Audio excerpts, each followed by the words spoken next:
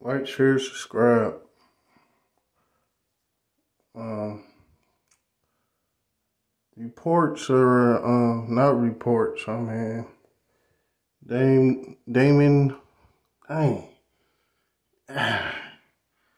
Dame Leonard, man, you man. All right, I ain't gonna say nothing like like Dame.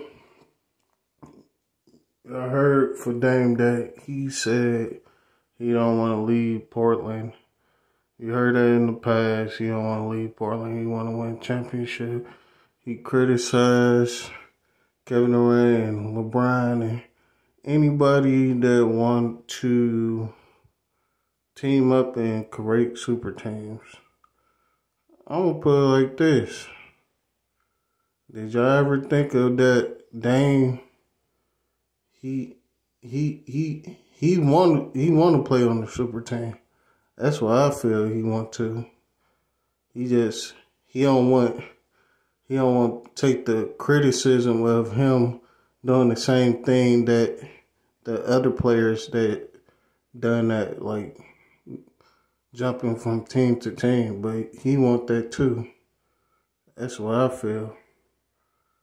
Even though he act like he don't, but I think he want the team to trade him. He want the team to uh um um trade him so they could be the blame, so he don't take the blame. That's what he really want.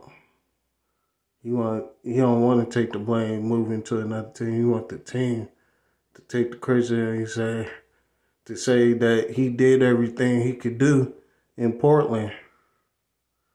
You want the team to say that. He don't want to say that himself. That's why he don't want to leave. He don't want he don't want the criticism of doing the same thing after he said he don't want to go to another team. But um that's all I had. But um, like, share, subscribe, and I'm out.